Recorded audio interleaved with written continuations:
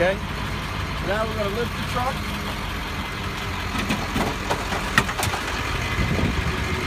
We're gonna go inside, put it neutral, lift it the rest of the way.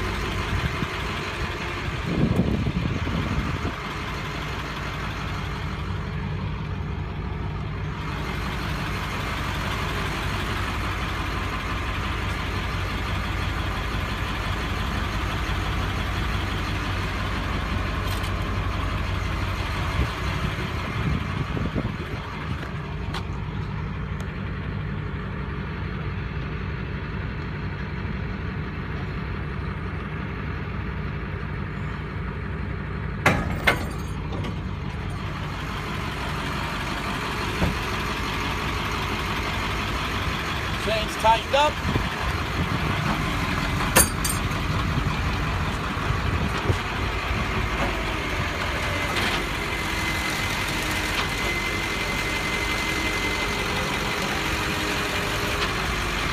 Level it off. About right there. Bring the wheel lift back up. This way. Make sure there's not too much slack. If you got a short chain, you need to take the slack out of the chain altogether. Okay? Bring this down, shorten the chain, and the pressure of the car or truck would be on the chains, not on the straps. All right? See these straps have tension on them now? That's where the weight is being held. All right? And that's how you sling.